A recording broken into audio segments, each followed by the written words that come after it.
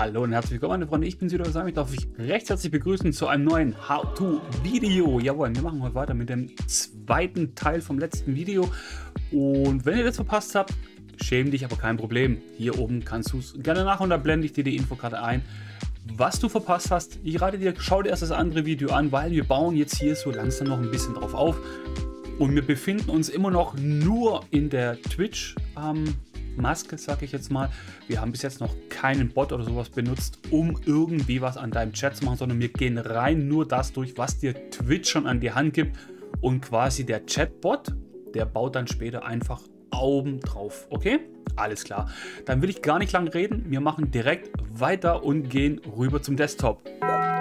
Wir sind wieder hier auf meinem Desktop und ich habe schon wieder natürlich was vorbereitet. Und mal wieder sind wir auf meinem ähm, Zweitkanal unterwegs, der aber natürlich genauso eingestellt ist wie der Erstkanal. Also, ihr klickt oben auf euer Bildchen, geht auf Einstellungen, Kanal und Videos. Sidebar machen wir auf. Und dann gehen wir nicht auf Kanal, wir gehen auf Einstellungen, sondern auf Stream. Da findet ihr das erste, das ist quasi hier Inhalt für Erwachsene.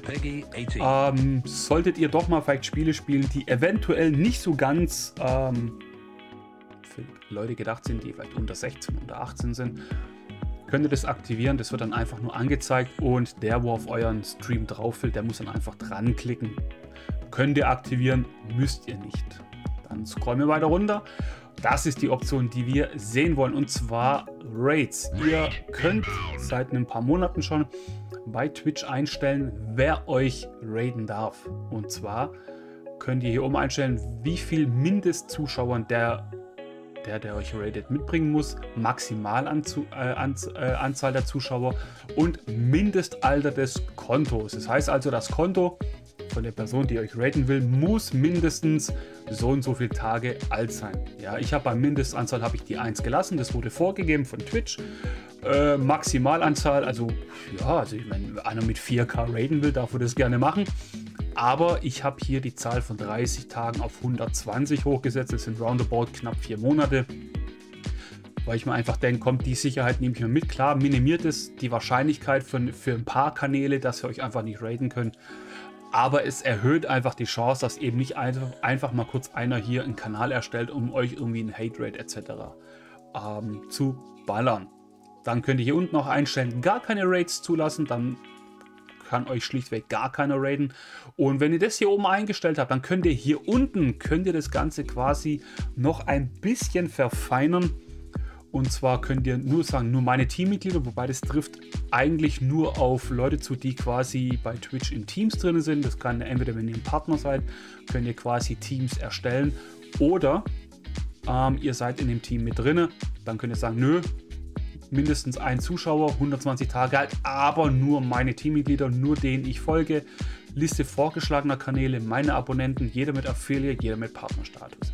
Das könnt ihr ganz wie ihr wollt einstellen. Und das Geile ist, ihr könnt auf dem Creator Dashboard, Dashboard das zeige ich euch auch noch, auch da nochmal die Rates für eine Stunde aussetzen. Wenn ihr sagt, hey, hey jetzt langt's einfach, ich habe jetzt schon drei, vier Rates bekommen, ich will keine mehr, es langt, Leute, aus, vorbei. dann könnt ihr die für eine Stunde ausschalten. Das ist auch eine coole Sache. Damit hätten wir das schon. Ich empfehle euch das dringendst hier ein. Von dem her wäre ich immer ein bisschen vorsichtig. Teammitglieder, denen ich folge, kann man zum Beispiel machen. Aber da ist natürlich die Frage, wie viele Leuten folge ich oder denen, die ich nur vorschlage. Aber das könnt ihr für euch entscheiden. Ich empfehle euch auf jeden Fall, das hier oben einzustellen. Oder ihr sagt, nö, ich will gar keine Raids. Dann geht es natürlich auch klar, ne? so, dann sind wir hier schon durch. Ähm, das könnt ihr für den, das hier ist quasi während ihr streamt. Und jetzt zeige ich euch noch was, was ihr einstellen könnt, wenn euer Stream fertig ist. Und dafür wechseln wir quasi jetzt aufs Creator Dashboard, aber ähm, von meinem Hauptkanal, weil es gibt eine Einstellung, die bekommt ihr erst mit dem Affiliate. Die habt ihr als Nicht-Affiliate eben nicht. also, wir switchen den Desktop. So, jetzt sind wir hier auf dem Creator Dashboard angekommen, quasi auf meinem Hauptkanal. Und es geht jetzt um die vier blauen Icons, die ihr hier unten seht, plus das eine mit diesem hellrosa. Ich habe es nicht so ganz mit Farben, aber ist auch nicht schlimm. Ihr wisst, was ich meine.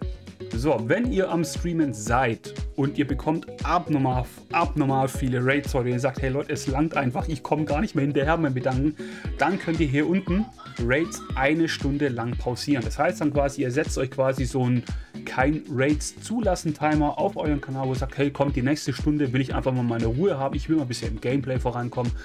Allen mag schön Hallo sagen, die reingekommen sind.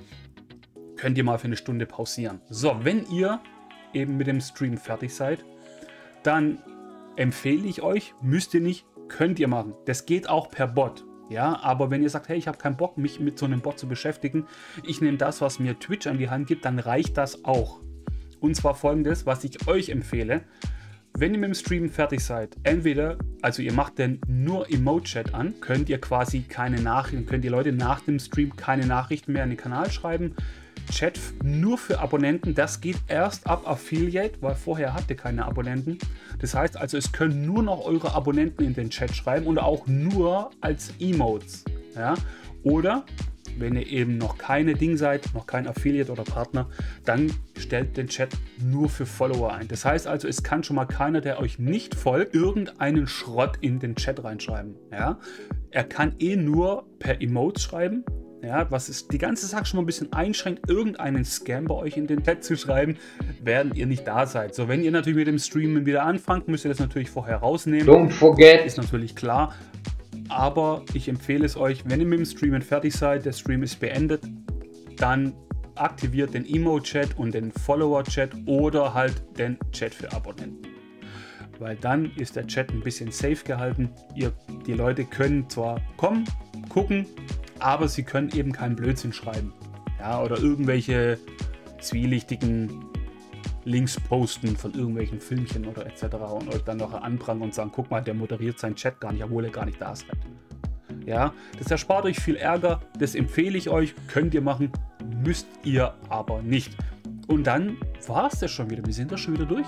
Tschu, da bin ich wieder, servus. Und zwar sind wir schon wieder durch relativ kurz, aber das sind drei, sagen wir relativ, ja, die letzte Einstellung finde ich fast die wichtigsten, wenn ihr quasi mit dem Stream fertig seid, dass ihr euren Kanal eben entsprechend vom Chat her noch absaved, weil es gibt auch manche Leute, die warten einfach nur, bis ihr offline geht und dann gehen die in den Chat rein, posten irgendeinen Schrott und ihr seid nicht da.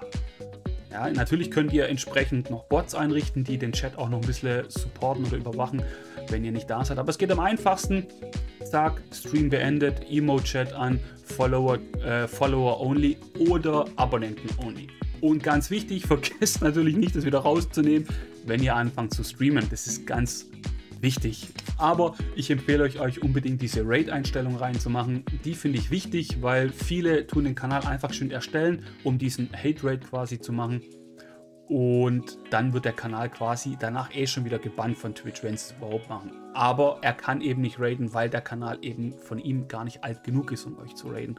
Also das heißt also, ihr saved euch da ziemlich gut eigentlich ab. Da sind wir eigentlich schon wieder durch. Im nächsten Video kümmern wir uns noch um diesen Abwehrmodus, den Twitch neu hinzugefügt hat.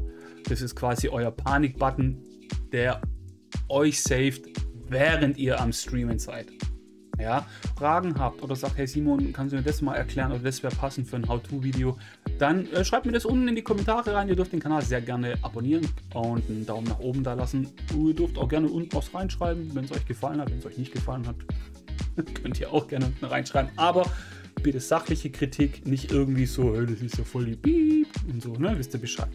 Dann bedanke ich mich recht herzlich fürs Zuschauen. Ich wünsche euch einen richtig schönen Tag. Ich bin raus, euer Simon. Ciao.